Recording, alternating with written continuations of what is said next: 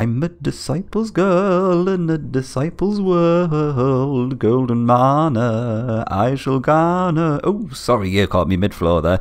And welcome back to another Greeb-tastic, that's orc language for lovely, episode of Disciples 2, the Legions of the Damned campaign.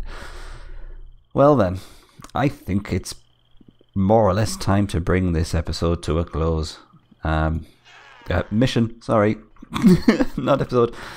Uh, love cutting these episodes short. Uh, I do, I do, of course, enjoy doing it. Uh, it's not some sort of uh, hidden message there.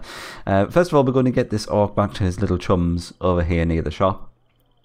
Um, I think it's time to lay down the smack upon Mr. Godfrey because he's being a little bit cheeky. Although it does mean getting a little bit close to these guards, which are presumably. Oh, okay guarding the way to Astaroth. I thought we were going to get a little bit of dialogue, but no, sir. So let's get rid of this guy. Then we'll send Bizik back to the safety of the city. Okay, that's good. I'm going to keep this thief round about here, poised and ready to do a little bit of damage to these guys. Um, in fact, I might even get him to sneak up and insert a, a spy into their army, which will which will be handy. Um, anyway, let's move the orc guy over here. Uh, use Mango to clear up the waters and things around here, and then uh, we'll resume on the next turn when we're ready to move Mr. Grebe over here. Onward to the next turn, and here comes Comrade Greeb, moving a little bit further towards his friend down here. Looks like it's going to take four turns, so uh, we're not going to bore you with every single turn. We'll we'll catch up when he's just about to to reach his chums. In the meantime, um, I will just be using Mango just to gain a little bit of X, more XP, and that's more or less it really. There's there's not a lot else for us to do here, and then we've got to take on uh, this area and also this these haunted halls, which should be exciting. So I'll see you then.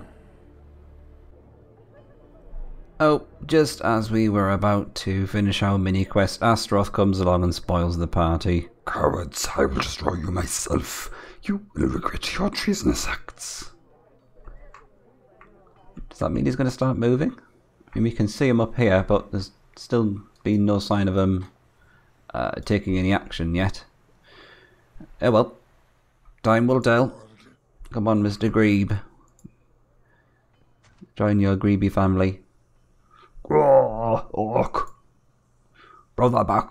We give good help. Look in big city for treasure.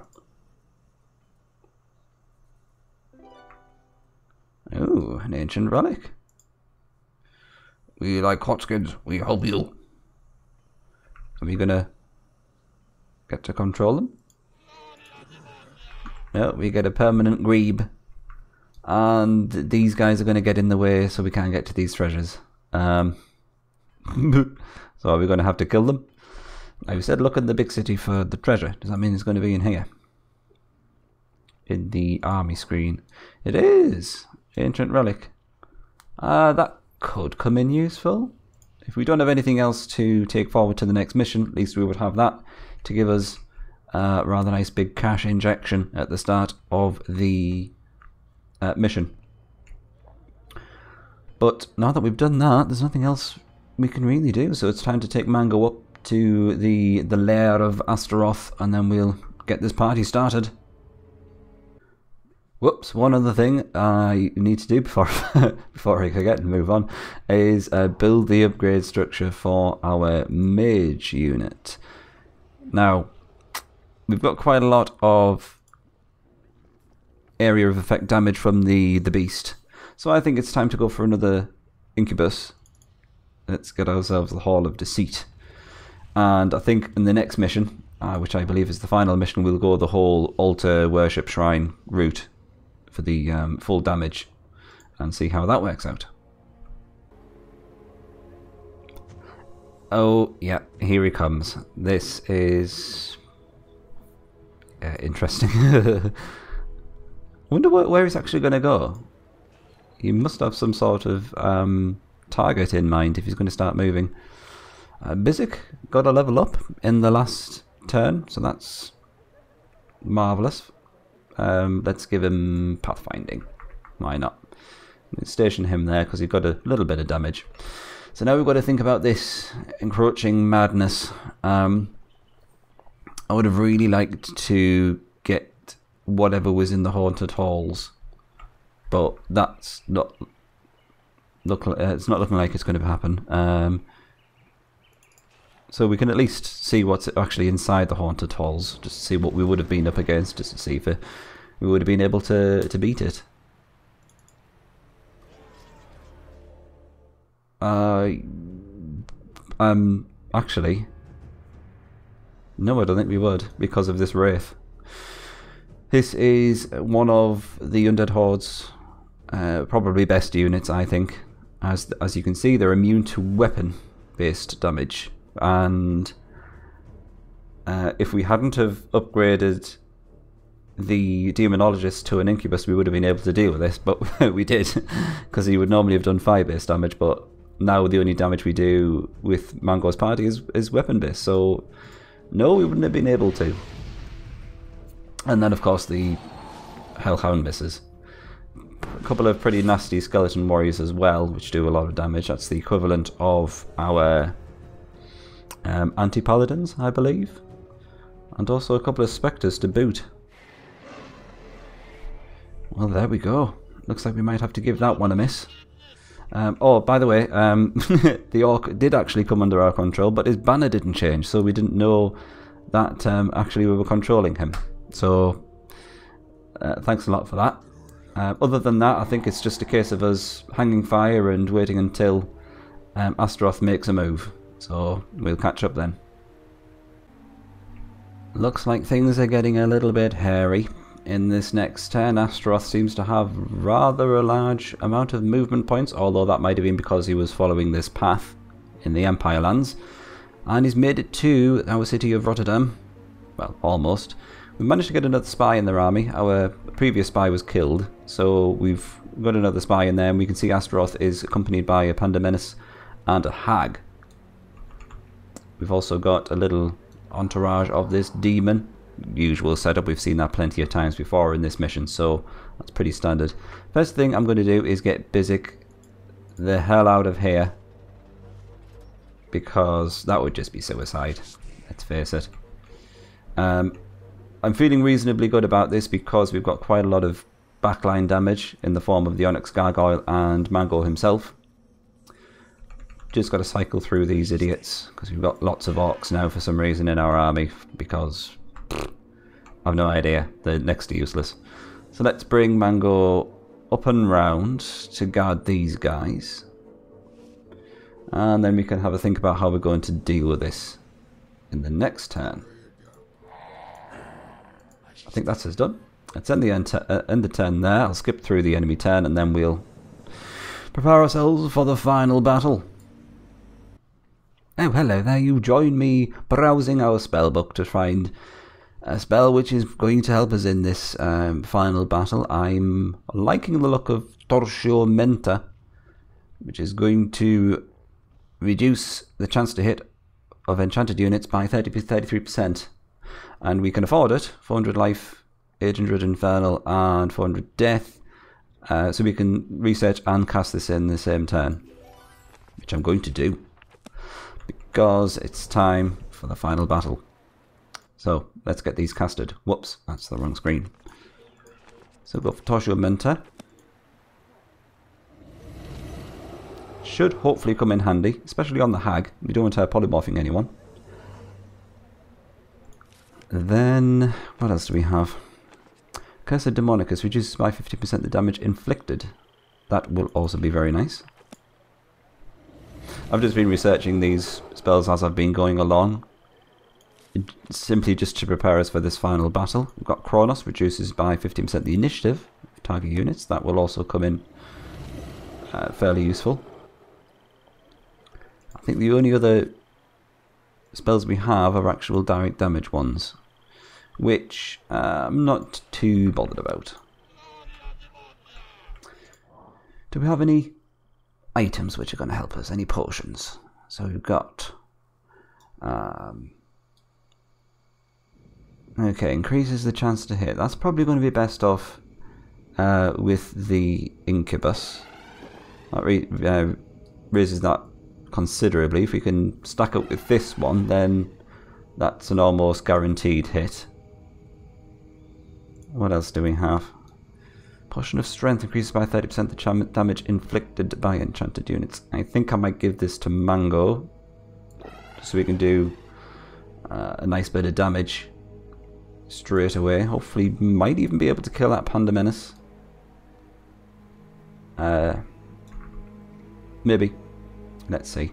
Uh, I'm going to quickly save, just because I'm a chicken. Let's give it a go. I believe in you, Mango. I'm not going to go into too much detail about the Panda Menace because we'll hopefully end up with our own in the next mission. That's the kind of upgrade path we're going to go down. Let's see how much damage Mango's doing. That is enough to kill the Panda Menace, I believe. Does he have any armor? He doesn't, so... Oh yeah, that's what I like to see. Hag is very slow, so we've got a chance to kill her outright with the combination of the Onyx Gargoyle and Beast, so I think we'll do that. But let's take a quick look at Astaroth first. He's got immunities against Mind and Fire. This is going to probably be his downfall because our Incubus has a source of attack of Earth, so he's still going to be paralyzed by the Incubus. Uh, this is a bit of a crippling weakness on his behalf. Oh, he's going for a a healing thing. He's drained his level. How rude. How did he manage to use an item and also... Oh, he takes two turns, doesn't he? That's right. That's a bit cheeky. That is... Uh, it's not too bad.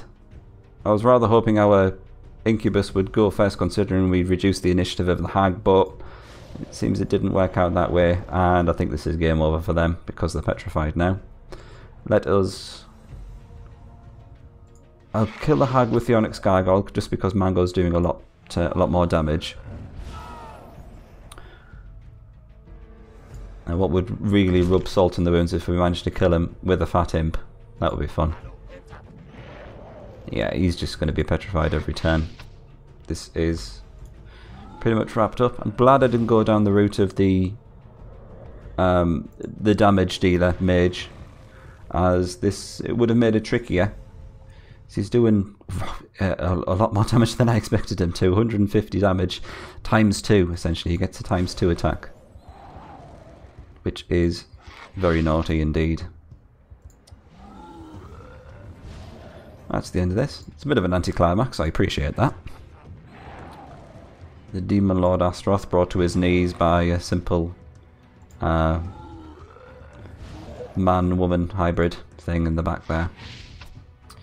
There he goes. Any levels up? Uh, no, but quite a lot of XP for Mango. Uh, he's not too far off another level there, which is great.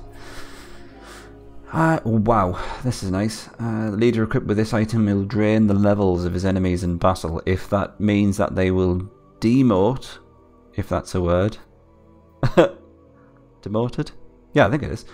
If that means they they reduce uh, from from the instance of a, a an anti paladin down to a berserker, then that will happen, which is uh, obviously agony city for the enemies. Roar! You are formidable to have escaped my wrath, demons, but I cannot be stopped. Astaroth has disappeared in a burst of flame. He has fled, but we are victorious. Tip mission has been successfully completed. Uther's betrayal would not go unpunished. His acts confirmed that the rites performed a decade ago had been at least partially successful. A part of Bethrezen's soul was housed in Uther's body. No mere boy could display such cunning without infernal inspiration. It explained many things. Now he says that, but he's obviously never grew up in the northeast of England. If you knew some of the little shits that I knew, you'd change your mind in terms of the cunning and crazy schemes they can come up with. But anyway, let's uh, bring over Mango and some of the items he was holding. Uh, you know, I'm tempted to bring all this Ring of Strength with us um, going forward instead of the damage reduction items. Obviously, the banner is going to have to come over.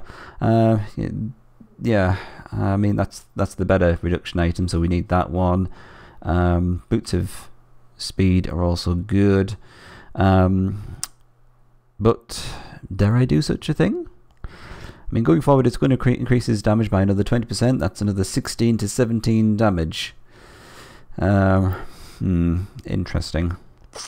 There is, of course, always the White Blade as well, uh, but I think I'm going to pass on that one. It is ridiculously useful on an area of effect damage dealing leader like the Archdevil, as he reduces the level of all the people he attacks. Um, but I think I'm probably going to stick with the the Holy Chalice. I'm going to pass on the Ring of Strength until we can probably, well, until we can get something better, which increases his damage further, then I think I'll stick to, to, to the damage reduction ones. Um, but is the damage, is the white blade going to be more valuable than the ancient relic, though? I think it is, based on the fact that it's worth 5,000 gold, um, as we tend to be, be able to sell it for about, you know, four fifths, sorry, a fifth of that. Anyway, I'll shut up. we'll carry on.